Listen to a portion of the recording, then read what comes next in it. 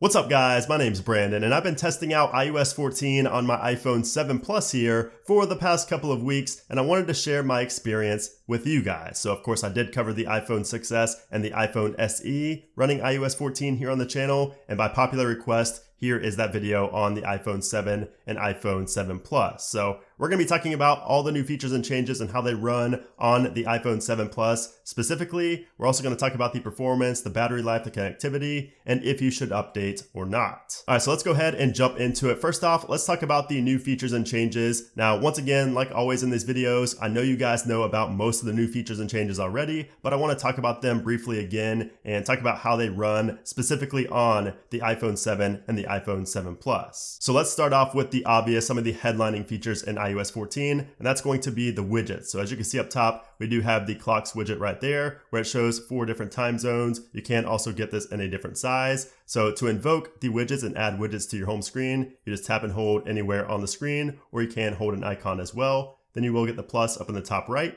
Click on that and you will see all of your widgets right here. You can search for widgets. You get some of the featured widgets right here. Then you can scroll down and you can see you have your smart stack, batteries, calendar, clock, files, podcasts, screen time, shortcuts, all of these different things that you can add to your home screen. And if you tap on one of them, you can see that you can add different sizes to your home screen as well. So say we want to add this one right here. And if you have multiple widgets that are the same size on the springboard, you can drag them over top to create your own custom stack just like so. And if you want to move one out of that custom stack, do not press the top left because that'll just delete the entire thing. Just simply go out of jiggle mode and then go back into it. Just tap and hold on this. And then you can go ahead and edit stack and from here, you can see that you can go ahead and delete whatever one you want to delete from that stack. And I do find myself adding more widgets to the home screen of the iPhone 7 Plus as opposed to the iPhone 7. And that of course is because of the smaller screen on the iPhone 7. Just takes up a little bit more room on that screen. So I find myself using more of like the smaller widgets like this music one right here on that device. But on the iPhone 7 Plus, I find myself using widgets,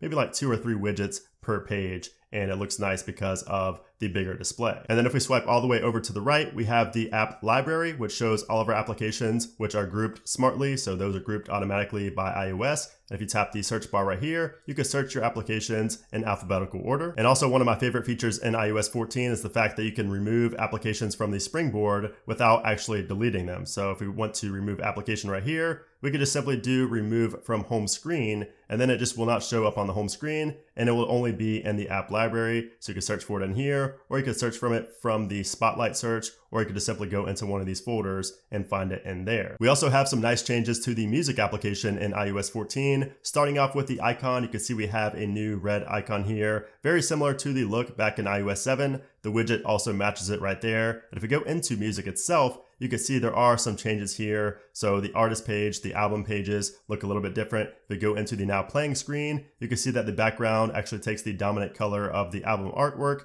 and it kind of moves around a little bit, has some motion back there. Looks really, really neat. Also, if we go into the queue, you'll see we have a new button there next to the shuffle and the repeat, and that is for infinite playback. So if you run out of music, like in an album, if you have that enabled, it will find other music similar to what you just listened to, and it will continue playing so that you never run out of music. Also in the library tab, you can see we have little glyph icons next to everything right here. So playlist, artists, album, songs, all these things have little glyph icons next to them and the text is also black. It's just a much cleaner look in the music application all around. Even on the browse page, everything is a little bit different in here. Looks a lot better than it did in iOS 13. We also finally get picture in picture with iOS 14 and it looks excellent on the iPhone 7 Plus. If we go to a YouTube video, of course, we do have to use Safari to go to YouTube. You can't do it through the native YouTube application. However, it does work with things like Twitch and HBO and Netflix and things like that. But if we go into full screen, then we go back to the home screen, you can see there that we have the video playing right here. We can take it to all four corners. We can even push it off the page and then bring it back on if you just wanted to listen to it and have it not, you know, be intrusive and take up part of your screen. We do also have three sizes. So if you just double tap, you can see we go through three different sizes, kind of like a small, medium,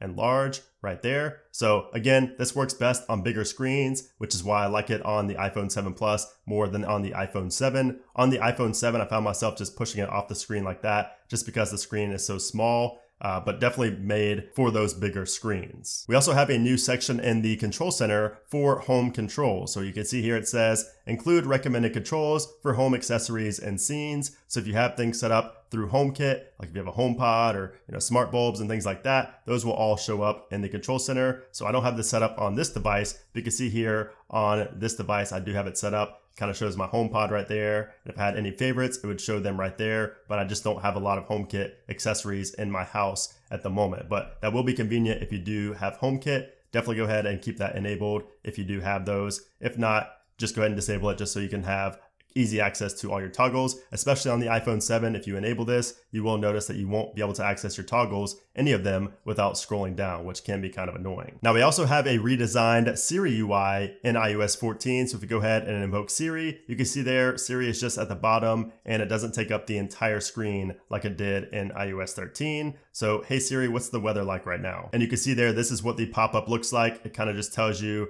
what you said right there, and then it shows what you asked for up at the top. So it's a lot cleaner here in iOS 14. We also have a new incoming call UI. So when you're getting a phone call, it now does not take up the entire screen. It just appears up top as a little banner. As you can see there, that is what the new incoming call UI looks like. You can also swipe it up like so, and then it just kind of ignores the phone call. You don't hear the ringing noise anymore, and you will see a little indicator up in the status bar showing that it's still ringing until the other person hangs up the call. As you can see, it disappeared right there. So really nice, a lot less intrusive here in iOS 14. Another great new feature in iOS 14 for the iPhone 7 Plus is if we go into our camera and then go to video, we can now change the video quality straight from the camera application without having to go into settings. So you can see it's set to 4K 30 right now. If I tap that, you can see it goes to HD. Tap it again, it goes back to 4K. We can also change the frame rate there from 30 to 60 and back and forth. That is a setting that you need to have enabled in the settings though. So if you go to your settings and camera, make sure you have video format control enabled. That way you are able to do that. That was an iPhone 11 exclusive feature last year, but now it's coming to all older devices, including the iPhone 7 and 7 Plus. Also, if we go into landscape mode, you will notice that the emoji and the number keys right here are swapped. So now instead of being over on the far left, the emojis is now closer to the spacebar, which makes it easier to access. Also in iOS 14, we get some nice new privacy settings. So if we go into Safari, go to the two A's up in the status bar, go to privacy report, it'll show you all of the trackers. So you can see here it says Safari prevents trackers from following you across websites, and it shows which ones Safari and iOS 14 actually blocked. So you can see 43 of them in the last 30 days, and it shows 75% of websites contacted trackers. It'll show you the websites right here and exactly what those trackers are. Also, if we go into our settings and then go back and go down to privacy, and then we have tracking right here. So it says allow apps to request to track, allow apps to ask permission to track you across apps and websites owned by other companies. So that is grayed out right now, but that is a feature in iOS 14. Also in location services, if we go to one of these right here, let's just say camera, for example, you can see there we have precise location. So you can see there it says allows apps to use your specific location. With this setting off, apps can only determine your approximate location. So now if you don't want an application to know your exact location, then you could just turn this off and it will just use your approximate location. So obviously you want to have precise location on for things like camera and maps, but maybe you don't want that for you know third-party applications. So yeah, you get a lot of great new features with iOS 14 here on the iPhone 7 and iPhone 7 Plus. Unfortunately, we do not get the back tap feature, which is available for other devices. So in accessibility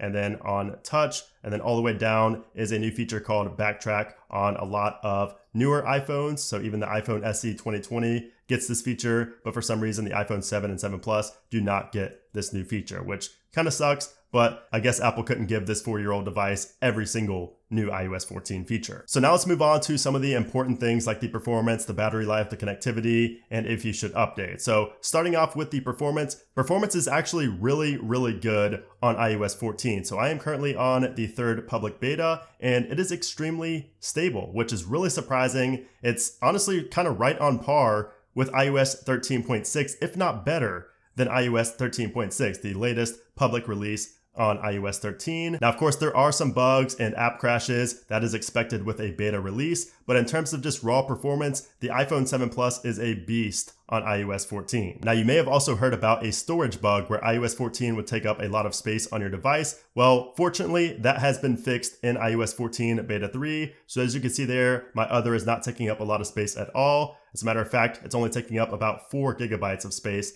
on my iPhone 7 Plus. So that was a major bug and a major reason that a lot of people did not want to update to iOS 14. But now that that is no longer a bug, it's been fixed, it's going to be really hard for people to wait for iOS 14 to come out in a couple of months because it's just so stable and runs so well here in the beta stages. Now, as far as Geekbench scores, I did run a Geekbench score here and you can see I got a 772 single core and a 1397 multi-core score. So those scores are pretty decent, but Geekbench scores don't really tell you the full story. iPhone 7 Plus runs great on iOS 14, but as far as battery life goes, battery life is okay on iOS 14. I personally had battery drain on many versions of iOS 13, including iOS 13.5.1 and 13.6. Also, a lot of family members and friends who have the iPhone 7 Plus reported bad battery drain on iOS 13. And iOS 14 fixes that somewhat, but the battery life is still not great. Now with the iPhone 6s, I found that the widgets actually drained the battery quite a bit, but that was not the case with the iPhone SE, and I found that not to be the case with the iPhone 7 or 7 Plus. At least I don't think so. So it appears that the battery life on the iPhone 7 Plus, specifically, I use this more than the iPhone 7. I only use the iPhone 7 for about one day. So I'm mainly talking about the 7 Plus here when I talk about the battery life. But the battery didn't really drain with anything except for phone calls and with FaceTime. So I'm not sure what the reason for that is but it actually does great with standby. So, you know, you don't drain a lot of battery being on standby, just your phone unlocked, sitting on the screen, or, you know, when it's locked, just sitting there and you're not on it. It doesn't really drain. So I don't think that widgets are to blame for the bad battery. It's not even bad. The battery's not bad on iOS 14, but it's not as good as I know it could be. So that may be a reason to hold off. But if you're like me and you had bad battery life experience on 13.5.1 and 13.6, you may want to just go ahead and upgrade to iOS 14